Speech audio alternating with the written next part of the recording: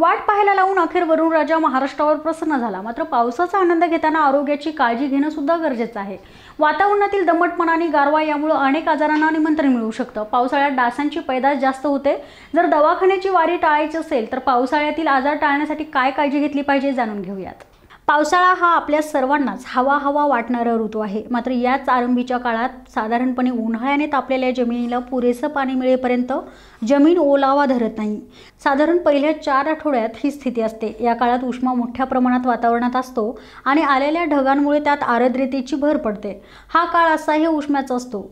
वाढलेल्या आर्द्रतेच्या परिणामी श्वसनाचे विकार असलेल्या व्यक्तींना मोठ्या प्रमाणावर त्रास होताना आपल्याला पाहायला मिळतो. याच काळात एक प्रकारे आजारांची आपत्ती देखील सुरू होते असंच म्हणावं लागेल. मात्र ही आपत्ती आपल्यावर ओढू नये यासाठी काय काळजी घ्यावी लागेल हे जाणून घेऊया डॉक्टर कल्याण गंगवाल यांच्याकडून. थोडा उशिरा का होईना पण मेघ गर्जनेसह पाऊस बरसला आणि पाऊस म्हणलं की आजार आहेतच. कारण हवामानात मोठ्या प्रमाणात बदल होतो आणि प्रत्येकाला पावसात भिजावंसं असं सुद्धा वाटतं. त्यामुळे पावसात भिजल्यानंतर विविध आजारांना आपण निमंत्रण देत असतो. मात्र पावसात भिजण्याचा आनंद घेऊन सुद्धा आजार कसे टाळता येतील हे आपण जाणून घेणार आहोत. डॉक्टर कल्याण गंगवाल आता आपल्यासोबत आहेत.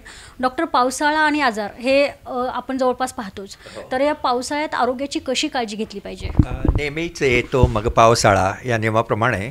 आता पावसाळ्याची सुरुवात झाली आहे. उष्णतेच्या तीव्र लाटेनंतर आता पावसाळा चालू झाला आहे. आणि तो धमाक्याने वस बरसतो आहे संपूर्ण महाराष्ट्रात. या पावसाळ्यामुळे काही आरोग्याच्या समस्या निश्चितच निर्माण होतात. आणि ह्या निर्माण होण्याचं कारण पण वातावरणातले होणारे कायमचे बदल सडनली बदल होतात. आणि या बदलामुळे सगळ्यात महत्त्वाची गोष्ट अशी होती की लहान मुलं आणि म्हातारी माणसं याला लवकर बळी पडतात. पावसात एकदा जरी छोटी मुलं भिजली किंवा म्हातारी माणसं भिजली की लगेच सर्दी खोकला ताप ब्रॉन्कायटिस असे विकार त्यांना होतात.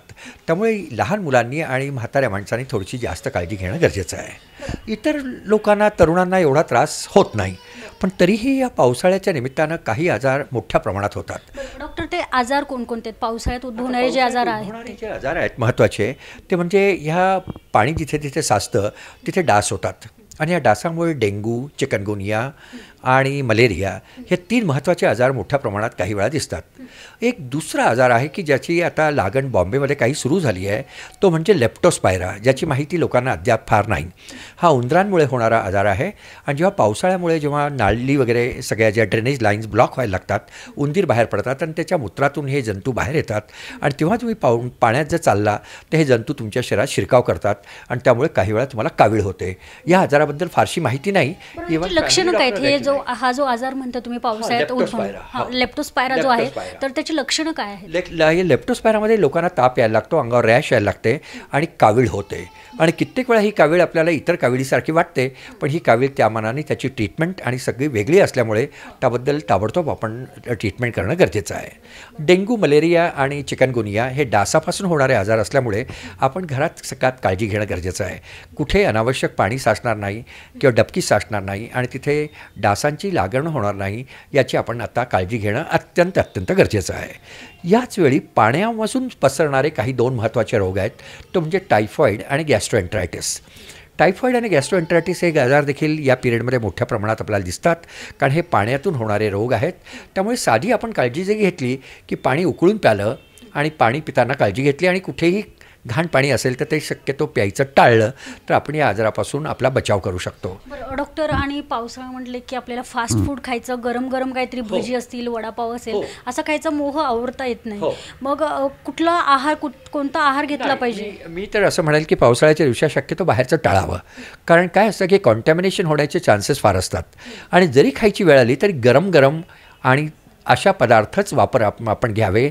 थंड शिळे पदार्थ आपण अजिबात वापरू नये. कारण काय? की हे थंड शिळे पदार्थातून हे इन्फेक्शन होण्याची भीती फार मोठ्या प्रमाणात असते.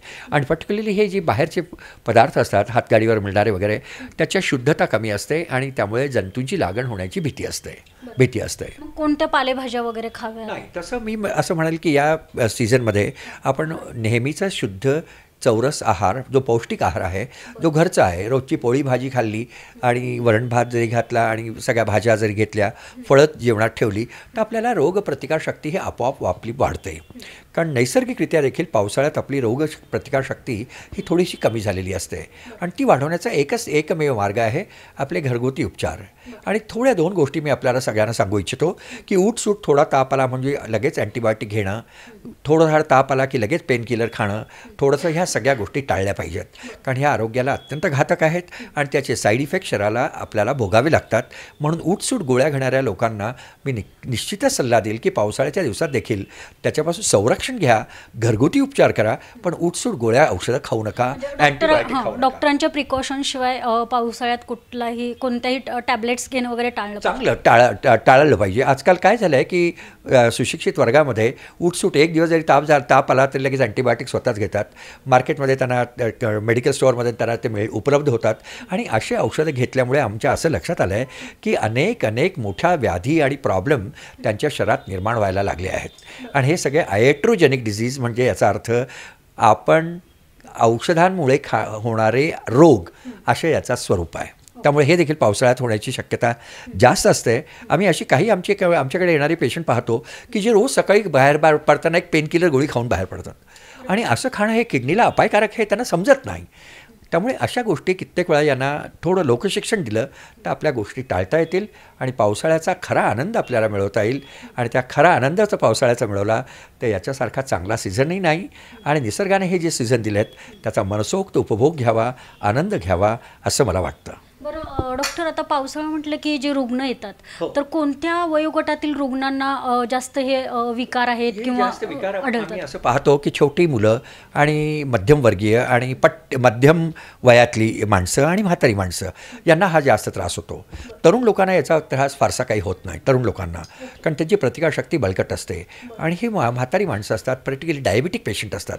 या डायबिटिक पेशंटनी प्रत्येक वेळी काळजी घेणं गरजेचं असतं कारण त्याला पायाला संवेदना नसतात. आणि पावसाच्या पाळ्यात चिखलात ते की जर भिजले पाय आणि त्यात कुठे जरी जखमा झाल्या तर त्यांना सेल्युलायटिस इन्फेक्शन गँग्रीनसारख्या गोष्टी होण्याची शक्यता असते. कालच एक पेशंट आहे गेले दोन तीन दिवस तो पाण्यात भिजत होता आणि पायाला झालेली जखम त्याच्या लक्षातच आली नाही आणि आता त्याचा अंगठा काळा पडायला सुरुवात झाली आहे. याचा अर्थ गँग्रीन व्हायला लागला आहे अशा वेळी कित्येक वेळा त्याचा अंगठा काढून टाकावा लागतो. म्हणून आपण डायबिटिक पेशंट आहेत आजारी पेशंट आहे रुग्ण आहे डायलिसिसवर असलेले पेशंट आहे या दिवसात त्यांनी आपली काळजी जास्तीत जास्त घ्यावी. यायोगे पुढचे प्रॉब्लेम त्यांना टाळता येतील. धन्यवाद डॉक्टर तर आला पावसाळा आणि आरोग्य सांभाळा अशी म्हण आहे. आणि पावसाळ्यात प्रत्येकाने आपली काळजी घेणं गरजेचं आहे. योग्य वेळी आहार फास्ट फूड खाणं टाळलं पाहिजे किंवा पिण्याचं जे पाणी आहे तर ते पाणीसुद्धा उकळून प्यावं असं डॉक्टरांनी आपल्याला सल्ला दिला आहे कॅमेरामन विवेक भालेरावसह मी शनाया दिनमान न्यूज पुणे.